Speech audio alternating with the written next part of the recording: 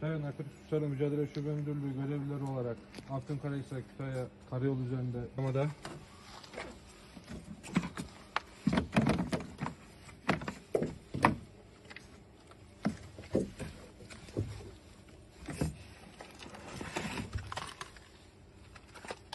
...300 miligram...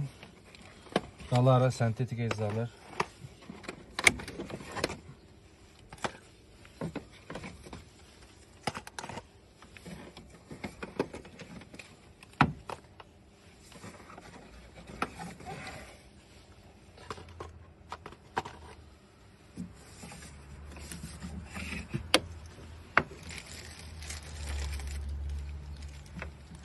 Çok sayıda renk ve görünüm itibariyle üç poşet halinde ekstazi. 6 adet galara.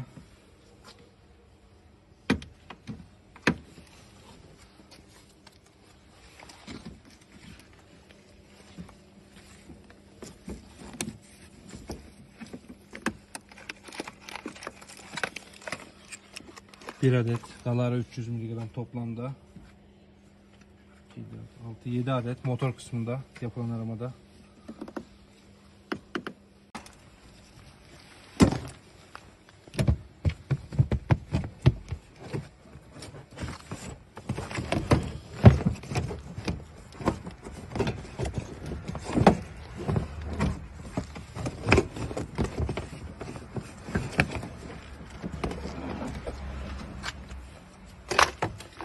Step'in altında poşet olduğu görülmüş.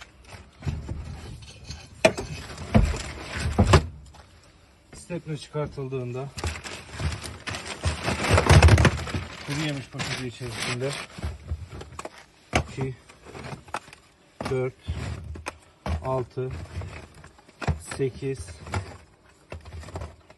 10 12 13 adet Galara 300 mg sentetik ecza ile geçirilmiştir.